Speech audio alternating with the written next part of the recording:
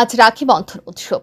এই দিনটি শুধু ভাই বোনের নয়, বরং এই দিনটিতে সমাজের প্রত্যেকটি মানুষ একে অপরকে রাখি পরিয়ে দিয়ে নিজেদের মধ্যে সৌভ্রাতৃত্ব বজায় রাখে।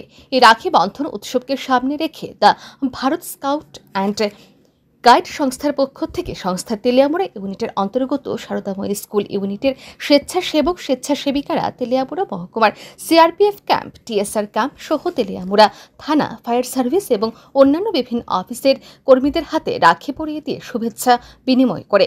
রাখি বন্ধন উৎসবকে কেন্দ্র করে এদিন the Bharat scout and guide সংস্থার সদস্য সদস্যদের মধ্যে উৎসাহ ছিল লক্ষণীয়। নমস্কার। প্রথমেই the Bharat scout and guide Teliamura ইউনিটের অন্তর্গত শারদময় বিদ্যাপীঠ ইউনিটের পক্ষ থেকে সকলকে শুভ রাখি পূর্ণিমার আন্তরিক প্রীতি, শুভেচ্ছা এবং অভিনন্দন জ্ঞাপন করছি।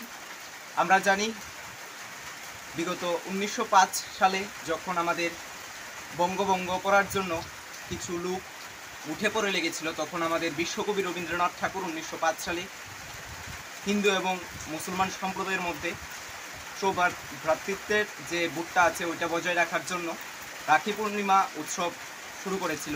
এরপর থেকে আমরা হিন্দু, মুসলিম সহ বিভিন্ন সম্প্রদায়, জাতি, ধর্ম, বর্ণ নির্বিশেষে আমরা রাখি পূর্ণিমা উৎসব পালন করে আসছি। আমাদের যে সৌভ্রাতৃত্বের বন্ধন, এটাকে অটুট রাখার জন্য।